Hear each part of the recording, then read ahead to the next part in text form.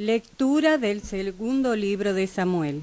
Cuando el rey David se estableció en su palacio y el Señor le dio la paz con todos los enemigos que le rodeaban, el rey dijo al profeta Natán, Mira, yo estoy viviendo en casa de cedro, mientras el arca del Señor vive en una tienda. Natán respondió al rey, Ve y haz cuanto piensas, pues el Señor está contigo. Pero aquella noche recibió Natán la siguiente palabra del Señor. Ve y dile a mi siervo David, así dice el Señor, ¿eres tú quien me va a construir una casa para que habite en ella? Yo te saqué de los apriscos, de andar tras las ovejas, para que fueras jefe de mi pueblo Israel. Yo estaré contigo en todas tus empresas, acabaré con tus enemigos, te haré famoso como a los más famosos de la tierra.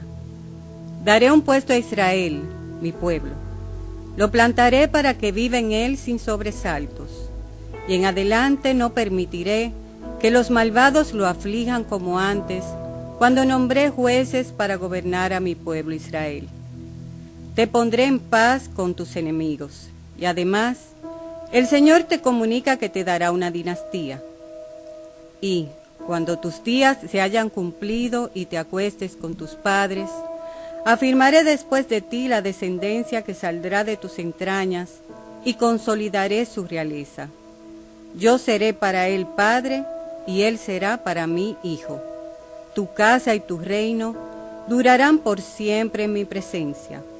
Tu trono permanecerá por siempre. Cantaré eternamente tus misericordias, Señor. Cantaré eternamente las misericordias del Señor anunciaré tu fidelidad por todas las edades, porque dije, tu misericordia es un edificio eterno, más que el cielo has afianzado tu fidelidad. Cantaré eternamente tus misericordias, Señor. Sellé una alianza con mi elegido, jurando a David mi siervo. Te fundaré un linaje perpetuo, edificaré tu trono para todas las edades. Cantaré eternamente tus misericordias, Señor. Él me invocará Tú eres mi Padre, mi Dios, mi roca salvadora. Le mantendré eternamente mi favor, y mi alianza con Él será estable. Cantaré eternamente tus misericordias, Señor. Evangelio según San Lucas. Y Zacarías, su padre, quedó lleno del Espíritu Santo y profetizó diciendo, Bendito sea el Dios de Israel, que ha visitado y redimido a su pueblo y levantó un cuerno de salvación en la casa de su siervo David, como habló por boca de sus santos profetas que fueron desde el principio, que seremos salvos de nuestros enemigos y de todos los que nos aborrecen, para hacer misericordia con nuestros padres y acordarse de su santo convenio, el juramento que juró a nuestro padre Abraham, que nos había de conceder que librados de nuestros enemigos le serviríamos sin temor, en santidad y en justicia ante Él todos nuestros días.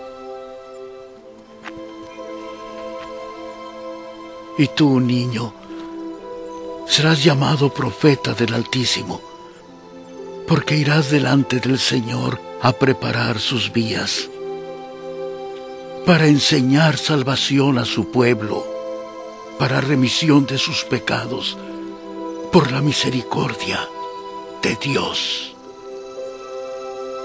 Y la aurora desde lo más alto nos ha visitado para dar luz a los que están en tinieblas y en sombra de muerte, para encaminarnos por camino de paz.